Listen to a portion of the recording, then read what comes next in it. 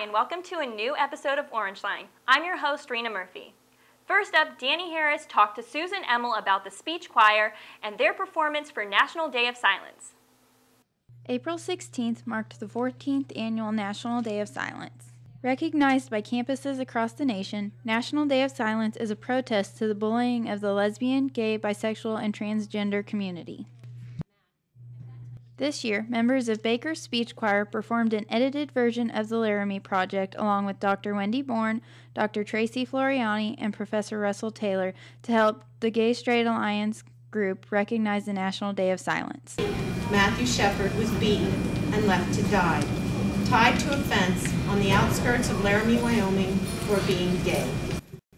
Professor Russell Taylor wrote the script to fit the needs of Speech Choir towards the beginning of the year, um, Dr. Emmel mentioned that we would be participating in a um, speech choir event for the GSA, and I thought it would be. I've always wanted to try writing one of the speech choir scripts. Um, since I assist with the speech choir and coach the forensics team, I thought it would be an interesting thing to do one day is actually write one of the scripts. And when this one came about, I thought this is the perfect one for me to do. Um, not only because I, I am very passionate about the topic, but also as a gay man, it, I thought it was a very important one for me to add my voice to, that someone else may not have had the same viewpoint on. Speech choir member Darcy Nance was happy to do the performance. I am excited about it. It's a really moving script. It's um, it's very emotional, and I think people see it like they'll be able to maybe put themselves in a different position or, or think about something from a different point of view that they haven't before.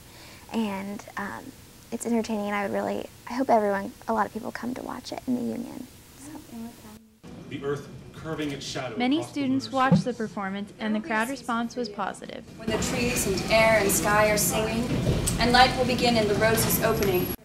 I think it went really well. There's something amazing about the actual performance. No matter how rough it can be in rehearsals, once you actually get to the actual performance, people sort of get engaged by the energy and the crowd, and it always goes off so much better than you imagine it will. But not math. Speech choir members performing were Darcy Nance, Aaron Schoper, Sadie Schlapper, Warren Swenson, and Olivia Hernandez. Plant the seeds in the cracks, and you pray for rain, and you teach your sons and daughters that there are sharks in the waters, but the only way to survive. This has been Dannie Harris, KNBU TV.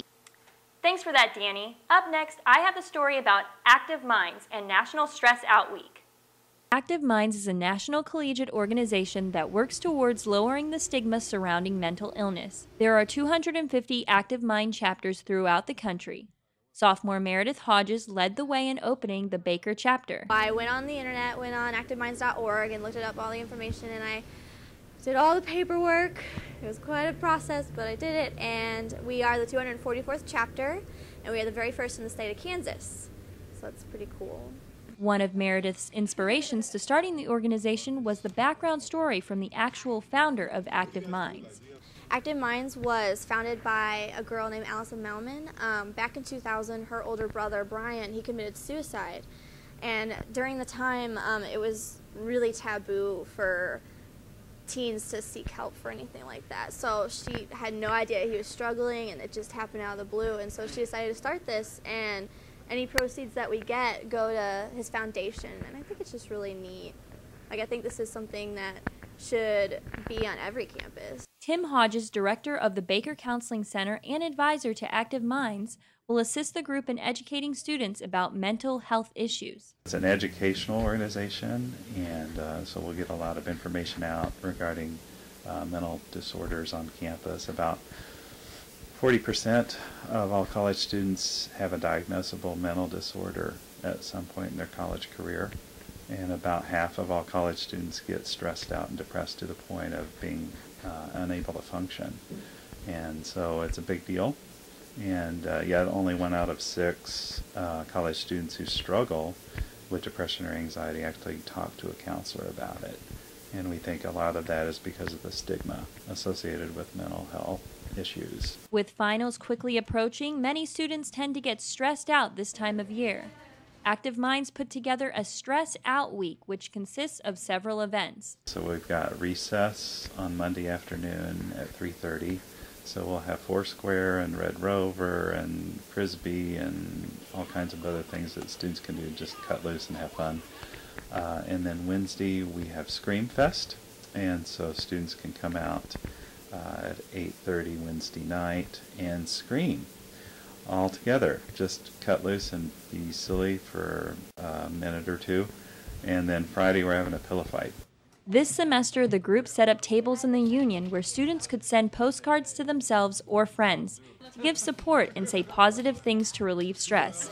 The group has similar and bigger plans set out for the next semester. Coming up next year, we'll be doing a lot of stuff with Mental Health Awareness Week in the fall. And so one day will be um, Stop the Stigma uh, Day, and uh, we'll be doing a lot associated with depression and suicide awareness. Suicide is the second leading cause of death for college students, and about 1,100 college students commit suicide each year. To find out more information about Active Minds, they have a Facebook group that students can join or get in contact with any member of the organization on campus. I'm Reina Murphy reporting for KNBU TV. So don't stress out this week. And if you do, then check out some of Active Minds events. Also this week, SAC is holding their annual Spring Fest week on campus. Special events like Monday's game show night and Tuesday's movie on the lawn featuring Avatar were planned months in advance.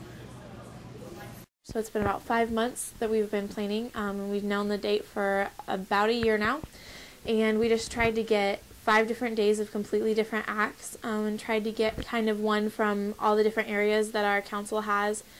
Wednesday features a sex comedy show followed by Thursday's stand-up comedy act by Ryan Reese. In the past, it hasn't been as wonderful as we would like it to be, but we're hoping with this year, with how many different things we have and with how much promotions um, and how much effort we've put into it, that really students will get out on campus and come to all the different events. All events start at 9 p.m. Stay tuned because after the commercial, we'll tell you which Baker soccer player is going pro.